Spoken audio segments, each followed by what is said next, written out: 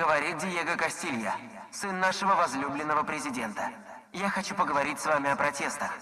Протесты – неотъемлемая часть демократии. Мой отец тоже был протестующим. В самом начале своей кампании он протестовал против прогнившей коррумпированной системы. Он рискнул всем, чтобы сражаться за права и достоинство яранцев. Когда он победил, необходимость в протестах отпала. Его революция была последней.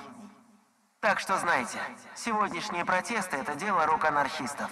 Благодаря президенте нам больше не нужно ничего требовать. Пора засучить рукава и начать трудиться. Справляться с трудностями и жертвовать необходимым, чтобы мечты моего отца о прекрасном будущем стали реальностью. Наша задача – служить этой мечте.